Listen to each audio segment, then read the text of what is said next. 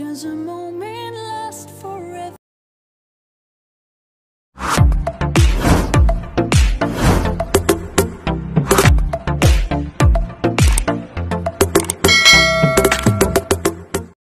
Bilang isang ina at magulang ayaw natin na nahihiwalay tayo sa piling ng mga anak dahil hindi natin alam ang pwedeng mangyari kapag wala tayo sa kanilang tabi.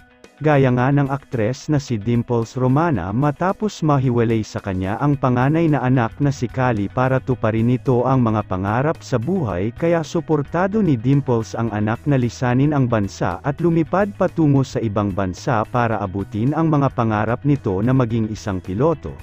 Mahirap para sa side ni Dimples bilang isang ina ang hindi niya kasama ngayon ang anak pero ginagawa niya ito para sa magiging future ng kanyang anak kasalukuyang nag-aaral si Kali sa bansang Australia bilang isang piloto.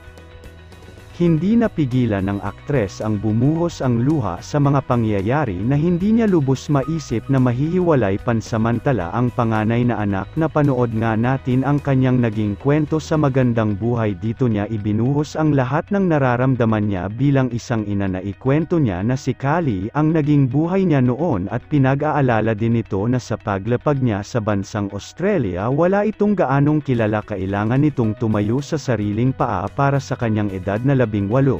Pero alam ni Dimples dito magiging masaya at makilala ni Kali ang kanyang sarili.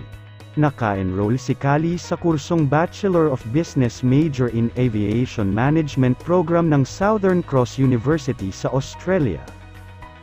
Nito lamang sa latest post ng aktres na si Dimples sa kanyang Instagram nakita nito ang mga sulat ni Kali para sa kanya kaya naman muling bumuhos ang kanyang mga luha nang makita niya ito sapagkat nakapaloob dito ang mga mensahe ni Kali para sa kanya at sa kanyang ama. Hindi man sinabi ng aktres ang mga nakapaloob sa sulat nito pero bakas naman sa kanyang mga post ang pagiging isang proud na ina at sobra ang kanyang support sa anak na si Kali para sa pag-abot ng mga pangarap nito.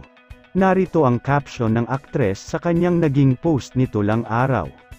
And just like that, my baby Kali has left once again this time for long, back to chasing her dreams and earning her wings, my mommy heart, we love you ate, now go live life for me and keep taking those leaps of faith, we're right behind you you know the way back home.